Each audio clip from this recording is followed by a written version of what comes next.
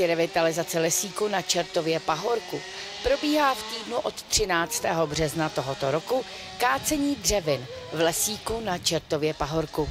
Jedná se o realizaci vítězného projektu participativního rozpočtu roku 2022. Na jaře tohoto roku budou také zahájeny práce zhruba na polovině dotčeného území. Kácení dřevin zajišťují technické služby města Příbramy ve spolupráci s městskými lesy a kácet se bude zejména v dopoledních hodinách. Následnou výsadbu dřevin provedou technické služby města Příbramy. V této lokalitě tedy dojde ke zvýšenému hluku a pohybu techniky.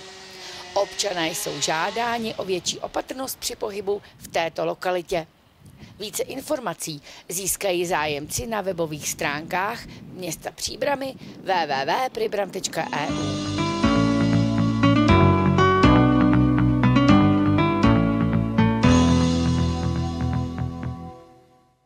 Dobrý den, vážení diváci. 11. března se konala na Václavské náměstí další protivládní demonstrace. Toto celonárodní setkání pod názvem Česko proti bídě svolal Jindřich Reichl s členy a příznivci strany Právo, respekt, odbornost, aby na kultovním národní schromažděšti pod sochou svatého Václava a dalších zemských patronů vyzval spolu s pozvanými řečníky vládu, aby lidem především nebrala svobodu slova, radikálně změnila křivou energetickou politiku a ukončila zatahování země do cizího válečného konfliktu. Nebudou-li tyto požadavky splněny do 10. dubna, budou prý hrozit stávky, jež mohou vyústit ve stávku generální a může být také přikročeno k blokádě vládních budov. Navíc organizátor oznámil, že na 16. dubna svolává další demonstraci. Tím však dramatické události onoho dne neskončily. Po oficiálním ukončení celonárodního setkání se část účastníků rozhodla, že bude protestovat proti ukrajinské vlajce, jež znesvěcuje průčelí Národního muzea. Došlo ke konfrontaci s policií, došlo na zranění a byl zde také obrazově i zvukově zachycen děkan Národohospodářské fakulty Vysoké školy ekonomické Miroslav Ševčík, jenž orodoval za protestující, proti němž policie naprosto neadekvátně zasáhla.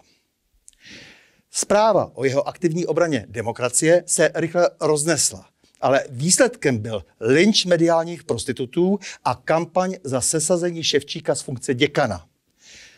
Ve studiu sedí hlavní organizátor demonstrace advokát a předseda strany PRO Jindřich Reichl, aby okomentoval události 11. března. Vážený Jindřichu, eh, vy jste podstatě dali ultimátum vládě. Jestli do desátého nesplní naprosto oprávněné požadavky, takže se potom budou dít věci neuvěřitelné, to znamená například stávky eh, nebo dokonce generální stávka a že dojde možná k blokádě eh, vládních budov.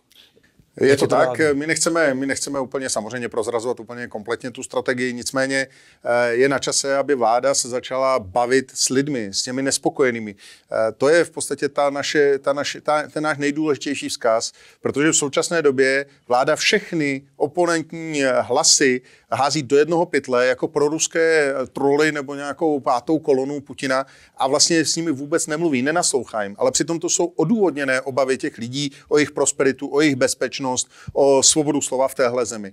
A já myslím, že je na čase, aby ta vláda zcela jednoznačně zahájila dialog s těmito lidmi. To znamená, my říkáme, přijměte nás a pojďte se s námi bavit. To je to nejdůležitější, protože pokud ta země bude vládnuta tak, že část, ta vládnoucí část se nebude bavit s tou opoziční částí, tak to nikdy nemůže může dopadnout dobře. Ministr vnitra Vít Rakušan pravil, že už eh, nebude mít spořadateli eh, demonstrace eh, žádnou trpělivost nebo že nebude mít slitování, slitování. dokonce pravil. Co si asi tak ten učitýlek pod tím představuje? No, já bych taky rád věděl, co si pod tím představuje. Mě to šokovalo, když to řekl. Já jsem se na to díval a říkal jsem si, pane, jo, tak co, co mě čeká? Eh, ta dehonestační kampaň už začíná s eh, vládou financovaných médií. To je také úžasné, že se rozpustili tady miliony, desítky milionů korun a nikdo neví podle jakého klíče a nikdo neví, komu šli. Tak eh, hned vidíme výsledky. No ale druhá věc je, že to slovo slitování, nebudu mít slitování, to je přece bolševický slovník. To je, to je něco, co nemůže v demokratické zemi nikdy zaznít. Ministr vnitra nemůže někoho jaksi jak, jako kat nebo jako nějaký uh, král v dané zemi odsuzovat nebo na něj, na něj nasazovat policii a tak dále a tak dále. To je přece absolutně neakceptovatelný výrok. A to, co mě nejvíc šokuje, že na to žádná média neza, ne, nezareagují. Že prostě tady ministr vnitra řekne svým oponentům, nebudu mít s vámi slitování a ta média uh, mlčí a někteří příznivci dokonce ještě zatleskají. Mimochodem bylo dobrým zvykem, že na postu ministra vnitra seděl vždy člověk s právnickým vzděláním, kdysi dávno. Eh, dnes se tato praxe opustila, eh, to znamená, eh, máš pocit, že třeba, když tohle všechno říká pan Rakušan, že se třeba snaží dovzdělat, že třeba sedí na toaletě a čte si tam jednotlivé kodexy? Já vám nevím, pro mě je to opravdu, myslím, že kdyby, kdyby právníkem byl, tak si takovýhle výrok prostě nedovolí, protože Já mám ten pocit. moc dobře by věděl, co ten výrok znamená a že jde, že jde za hranu práva. Ale bohužel my sledujeme v posledních týdnech, že ta vláda se vůbec nebojí za hranu práva, že v momentě, kdy si chce tady za každou cenu protlačit snížení valorizace důchodů, tak prostě poruší třikrát během jednoho víkendu e, zákony a vůbec, vůbec se s tím nedělá nejmenší starost. A tady si myslím, že je to to samé. Oni se prostě rozhodli, že už nějaký právní řád nebo cokoliv dalšího e, opozice ve sněmovně, mimo sněmovnu, že už je to nezajímá, že oni si prostě povalí tu svoji cestu dál a to je prostě něco, co musíme zastavit, protože to je nebezpečné pro demokracii v naší zemi. Na sociálních sítích na tebe dávají trestní oznámení za rozvracení republiky. Já mám pocit, že netuší, co to vlastně znamená, ale nicméně nemáš pocit, že naopak eh, členové této vlády často naplňují skutkovou podstatu eh, tohoto trestného činu, protože v podstatě rozvrací ústavní zřízení a vlastně rozvrací obrany schopnost republiky? No tak eh, já už čekám, kdy přijde vlastní zrada ještě na mě, protože to jsou neuvěřitelné, neuvěřitelné nesmysly. A samozřejmě ta vláda v momentě, kdy uh, začíná porušovat a nerespektovat principy právního státu, kdy se cítí vlastně být nad zákonem, protože mají tu 108, tak uh, to je jednoznačně na hraně vůbec jaksi práva a včetně, včetně práva trestní, trestního. To znamená, myslím si, že tady opravdu už dochází k tomu, že by měly začít jednotlivé orgány reagovat, protože prostě žádná vláda není nad zákon. A tahle vláda si to podle mého názoru začíná myslet, že je. Eh, co si myslíš o té kauze Miroslava Ševčíka? Oni ho chtějí v podstatě jak v 50. letech vymístit z funkce eh, za to, že v podstatě bránil demokracii nebo vůbec za to, za to že má eh, názor.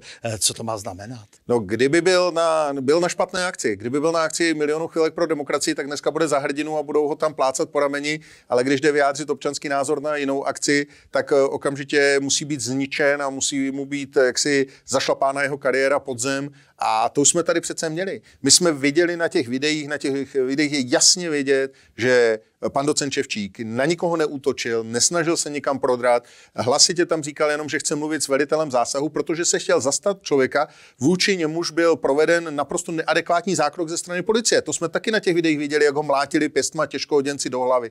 A on se ho chtěl zastat, žádal velitele zásahu a namísto toho byl natlačen tam na zábradlí a dneska je dehonestován a profesně likvidován. Já bych čekal od pana rektora, že se ho spíše zastane svého děkana a že bude žádat od policie vysvětlení, jak je možné, že je tam vůbec natlačili. Mně to přijde opravdu zase jak eh, za, těch, za, za, za té totality. Já říkám, že jsme někde kolem roku 2012 udělali smyčku a začali jsme se vracet zpátky do té totality a dneska už směřujeme z těch 80. let eh, plnou parou do těch 50. let, kdy prostě kdokoliv, kdo nesouhlasí s tím současným režimem, kdokoliv, kdo jde otevřeně projevit svůj občanský názor, tak musí být zničen, kariérně zlikvidován, dehonestován. To, je, to přece tímhle tím způsobem nemůžeme v téhle zemi žít. Já se uh, pana docenta v tomto ohledu jednoznačně zastávám, vyjádřil jsem mu jasnou podporu a myslím si, že je nemožné tolerovat, aby rektor vyzýval k odstoupení děkana za to, že byl napaden policií. No co ta ubohost akademiků, kteří vlastně páchnou strachem z politické moci, eh, kteří ztrácejí svoji svobodu, vlastně to, proč tady existují. Eh, už od středověku byly univerzity, alespoň na té univerzitní půdě se přece jenom pěstovala nějaká akademická svoboda a oni si najednou řežou eh, sami tu větev s tou akademickou svobodou. Ne, opravdu zase, když to srovnáme, ti z nás, kteří si pamatují ten režim před tím rokem 89, tak všichni vlastně schrbili záda a šli s tím proudem zem tak, aby nevyčnívali, tak, aby neměli problém. A my jsme zase v tom zpátky. To znamená, najednou ti akademici namísto toho, aby jednoznačně a jasně vystoupili a postavili se za svého kolegu, který je jednoznačně prostě dehonestován. Vidíme to na každém videu. Není jediný důkaz toho, že by docent Čevčík na koukoliv útočil. On to ani nemá v povaze. Jako kdo ho zná, tak ví, že to je míru milovný člověk, který by nikdy na nikoho nezautočil. A namísto toho, aby ta akademická sféra se tvrdě postavila proti profesní likvidaci jednoho ze kolegů, tak ještě píše dopisy, jak eh, v 50. letech, eh, když byly ty závodní dopisy, které žádali trest smrti pro Miladu Horákovou. Já už jenom čekám, kdy tohle přijde, protože myslím si, že se k tomu jaksi plnou parou blížíme. Eh, všechno zlé pro něco dobré, protože ty jsi slíbil právní pomoc právě Miroslavu Ševčíkovi a ono by to mohlo i trochu zesílit solidaritu a komunikaci v alternativě v opozici vůbec, protože je to tak silné téma, že by bylo dobře, aby se spolupráce trošku prohloubila mezi lidmi, kteří si vyčítají nějaké detaily, drobnosti a e, trošku nesmyslně proti sobě brojí. My se s panem docentem známe delší dobu, to znamená, já jsem mu tu nabídku učinil, bude záležet na něm, e, jestli využije. Co je ale nezbytné, podle mého názoru, že tady opravdu se musíme semknout to mušketýrské jeden za všechny a všichni za jednoho e, a, a odhodit teď to, co nás dělí. Protože tohle je mnohem důležitější boj, než boj mezi jednotlivými stranami, které tady jsou a které všechny, podle mého názoru, byť mají um, různé pohledy na to, kam má Česká republika směřovat, tak ale e, většina z těch stran se snaží jaksi respektovat demokratické principy. A já myslím, že teď je to opravdu o, o boji o charakter českého národa, boji o charakter České republiky a myslím si, že bychom měli teď opravdu tyhle půdky jaksi odložit stranou a postavit se za něj, protože pokud se nepostavíme za něj, tak se za chvíli přijdou pro všechny z nás. Takže milí Jindro, já tě moc za rozhovor a s vámi, vážení diváci, se těším na další setkání u cyklu O čem se mlčí.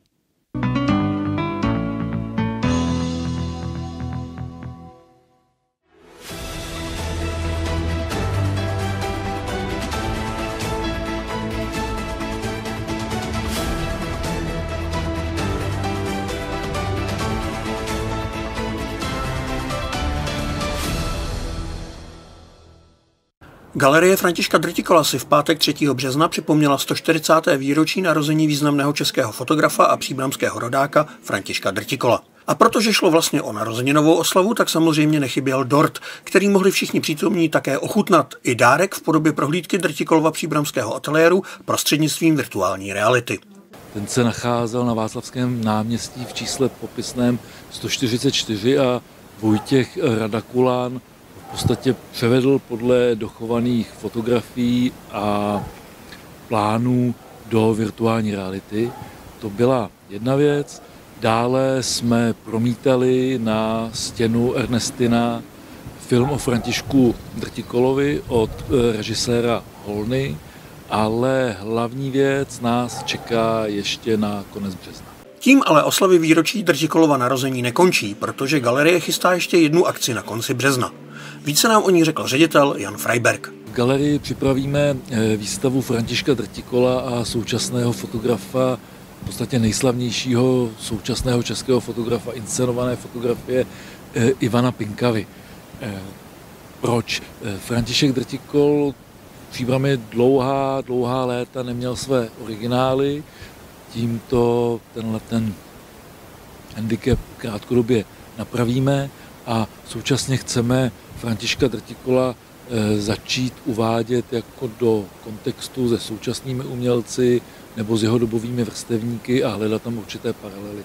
A Ivan Pinkava pracuje ve své fotografii s erotikou, s tělesnem, s určitými geometrickými tvary. Zároveň se od Františka Drtikola liší, pracuje s archetypy, výrazně pracuje se světlem, ale je to také současný fotograf a chceme tyhle ty dva autory uvést eh, do zajímavého kontextu.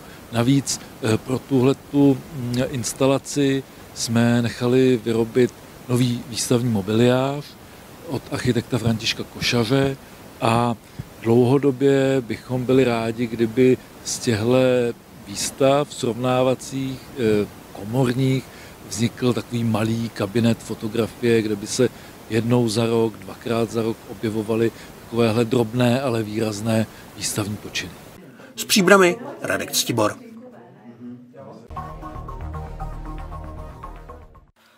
posledních letech došlo na Příbramsku ke zrušení několika dopravních spojů, a to především vlaků.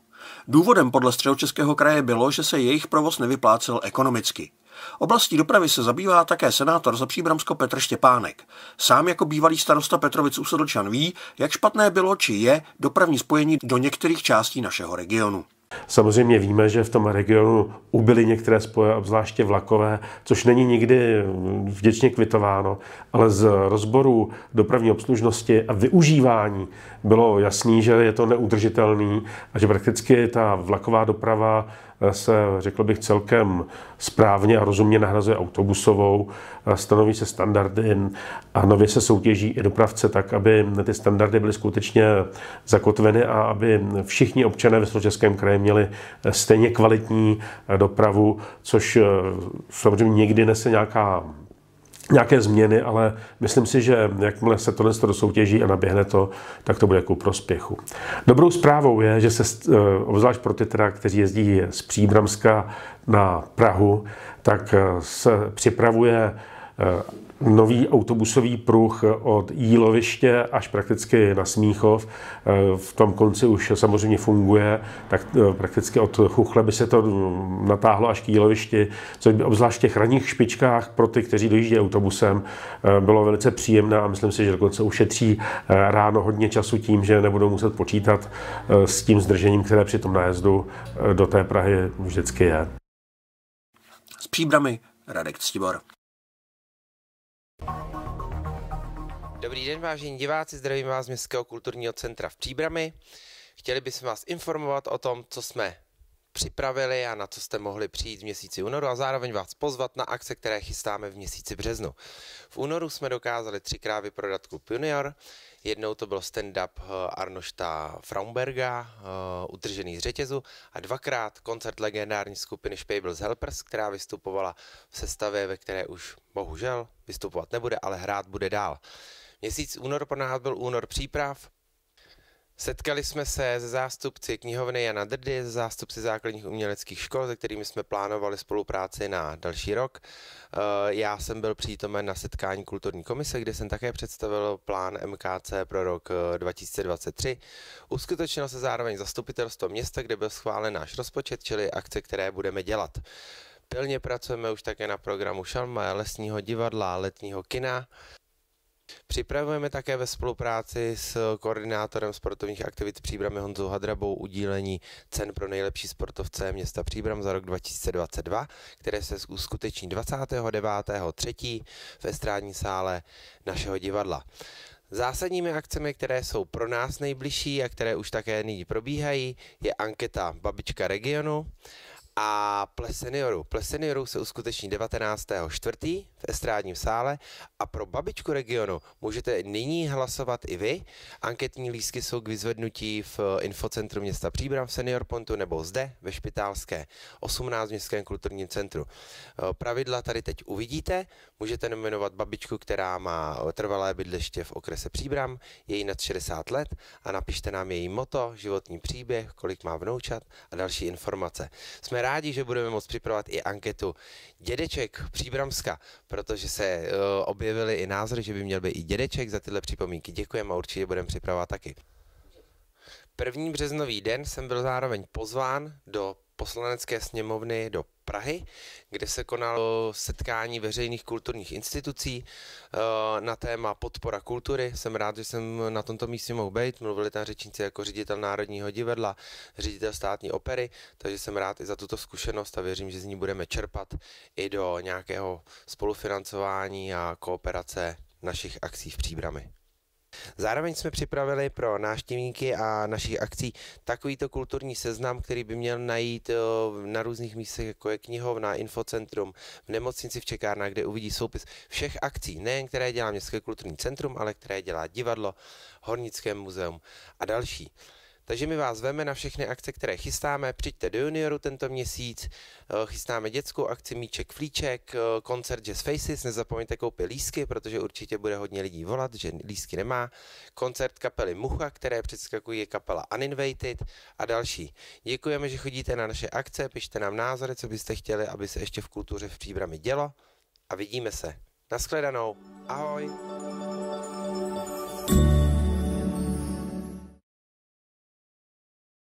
Minulých týdnech jsme na sociálních sítích zaznamenali stížnosti na kvalitu vody. Udělali jsme tedy anketu mezi vámi. Celkem vás odpovědělo 338. Ta data, která jsme získali, jsme předali jak první SČV, tak společnosti Energo Příbram k tomu, aby vyřešili problém se zakalenou vodou v Příbrami. Vítám vás u čtvrtých minutek. Výstavba parkovacího domu. Za tímto plotem začala už před několika týdny výstavba parkovacího domu. Jak je na záběrech vidět, probíhá pilotové založení a po úpravách terénu budou v průběhu několika týdnů betonovány základy samotného domu.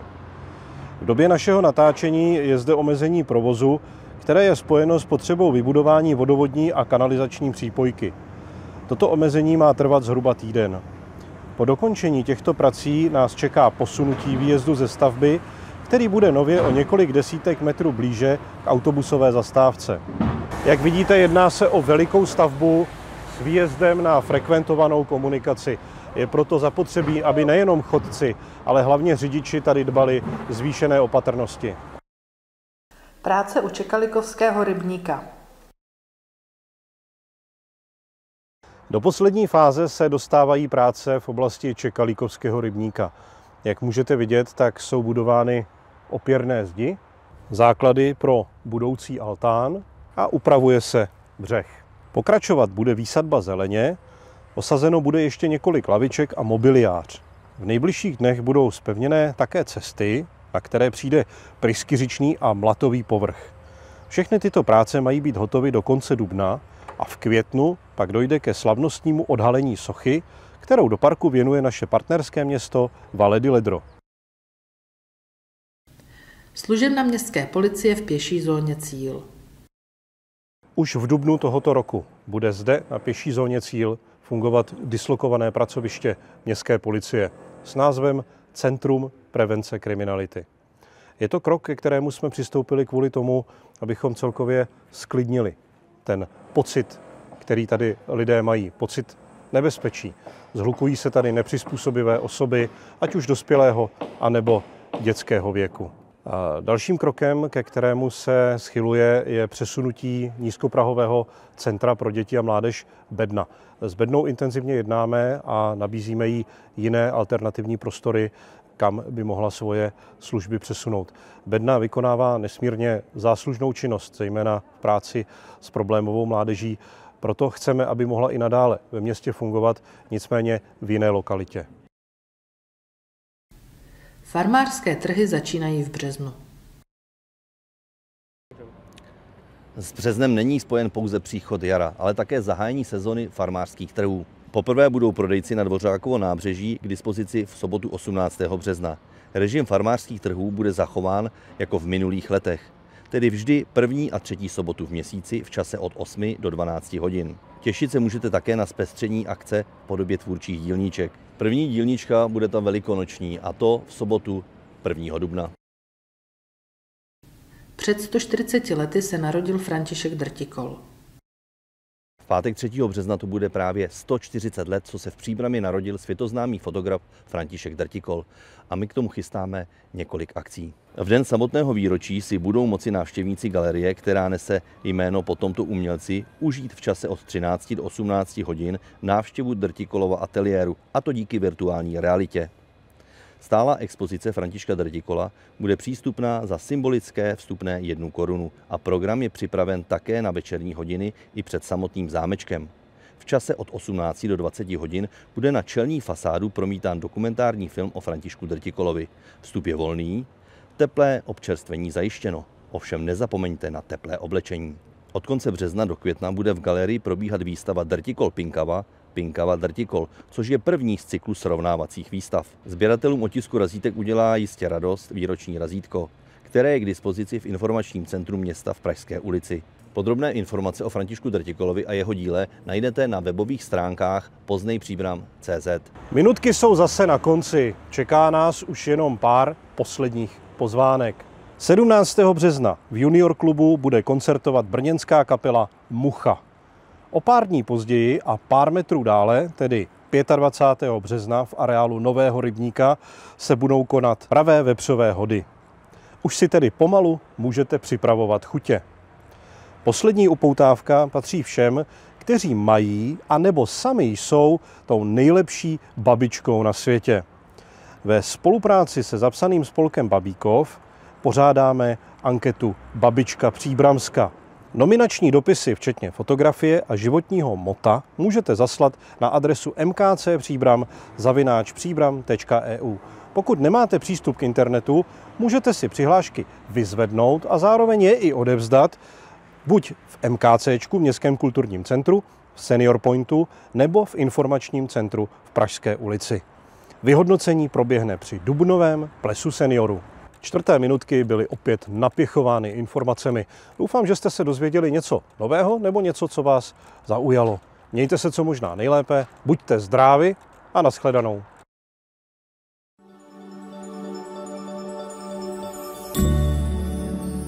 čtvrtek 16. února se na malé scéně Příbramského divadla konalo ochotnické představení spolku Divadlo Máj 21 Chaloupky. Principálku divadla paní Alenu Pražákovou jsme poprosili, aby divadlo představila. Náš divadelní spolek se jmenuje Ochotnické divadlo Máj 21 Chaloupky. Vznikli jsme vlastně v roce 2009, chtěli jsme navázat na tradici divadelního ochotničení, které bylo v minulém století leta letoucí až na několik desetiletí.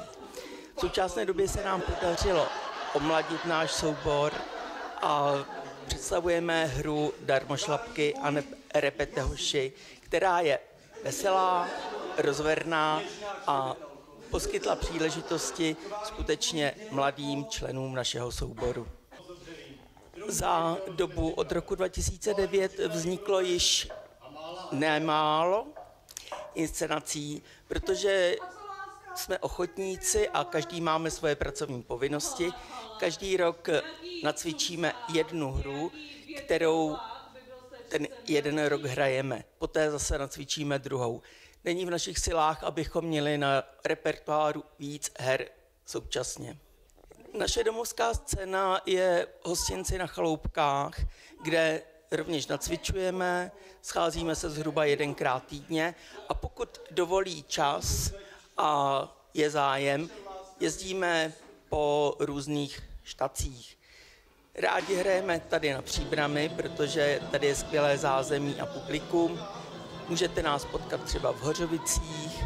Letos pojedeme i na malou přehlídku do Prahy a směřujeme třeba do Tachova. Hráli jsme nedávno v Líšné u Zbyroha a domlouváme si různé termíny podle toho, jak časově nám to vychází. Počet členů na jednotlivá představení je pohyblivý. Zázemí je celý spolek, který má tak necelých 20 členů a podle toho, jaký typ hry se vybere, tak podle toho jsou různě obsazováni. Pokud byste nás chtěli vidět, jestliže jste nestihli představení tady na Příbrami nebo kdekoliv jinde, tak nejbližší termíny jsou 24.3. Kulturní centrum Zahrada v Praze, potom 5.5. Kulturní centrum Mže v Tachově a 19.5. hostinec u Vrbů ve Stašově Uzdic.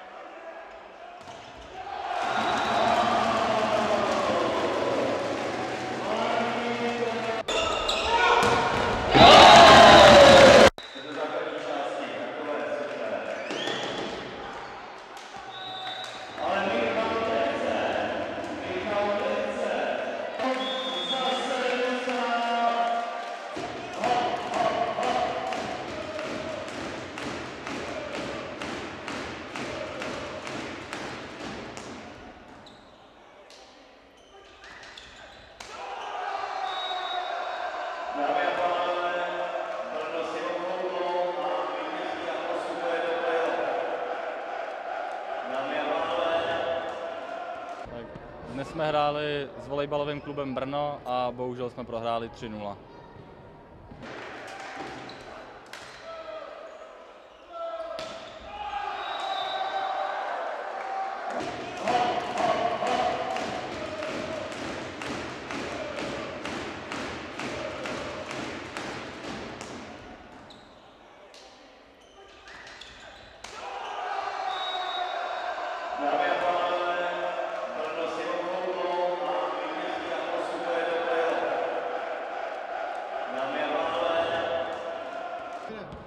Tak pro začátek, jak by si, tohle byl náš uh, poslední, poslední utkání a vlastně tvoje uh, úplně poslední. A jak by si zhodnotil uh, dnešní utkání a i pak celou sezónu? No tak dneska, dneska stejně jako u nich bylo vidět, že Brno nám nesedí. Drželi si po celou dobu zápasu celkem odstup a jsou takticky vyspělí, celkem zkušení hráči a nám ten tým, nám tam ten manšaft moc nesedí herně, takže Bohužel jsme na ně neměli. No a co se sezony týče, tak uh, myslím si, že ze začátku jsme hráli nic moc a byli jsme hodně dole a i psychicky všechno a zvedli jsme se z toho. Já to cením hrozně. Na to, že nás málo, uh, v podstatě jsme to pitlikovali v 8-9 lidech. Myslím, že to nakonec uh, je na to, na ty, na to celkový a na, na ty podmínky a vůbec souvislosti je to úspěch. Děkuji a teď bych se tě rád zeptal, eh, co budeš mít plánu teď? Jedna etapa života skončila, začne další. Uvidíme, tak mám ještě nějaký čas na přemýšlení. Budu si plácat první ligu v Dobřichovicích a, a, a možností je spousta. Děkuji. Dámy a pánové, eh, tímto zápasem skončila naše sezóna a eh, děkuji vám všem za to, že jste s námi byli i v těch horších Eh, ještě, i v těch horších chvílích a eh, doufám, že se spolu budeme těšit na eh, příští sezónu, která snad dopadne lépe než tato.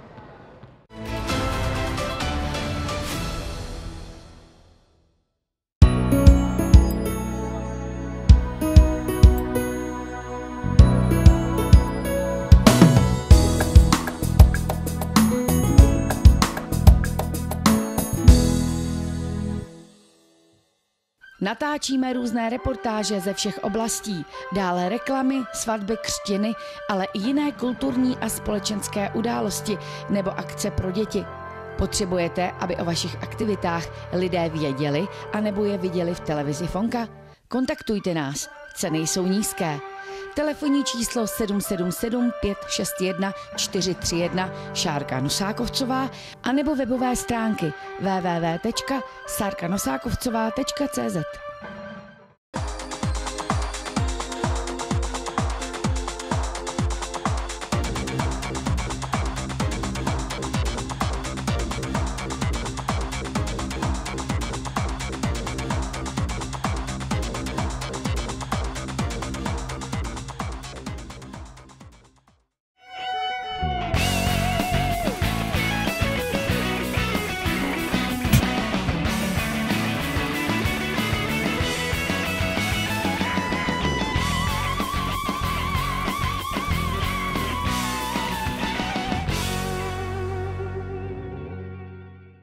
Nej.cz zrychluje internet až na 1000 megabitů za sekundu. www.nej.cz Pizzeria Sicília, nově otevřená pizzerie v Příbrami 8 v Křižáku naproti pobočce knihovny Jana Drdy. Denně si zde můžete objednat pici a vybrat si z 34 druhů. Nechybí ani kebaby a saláty. Otevřeno mají denně od pondělí do čtvrtka od 10 do 21, v pátek a v sobotu od 10 do 22 a v neděli od 11 do 20 hodin. Nechybí tady ani rozvoz objednávky po městě. Objednávky můžete provádět na telefonním čísle 731 547 144. Cena pici velké 40 cm je 140 korun. Kebaby pořídíte za 99 korun a saláty od 60 do 89 korun.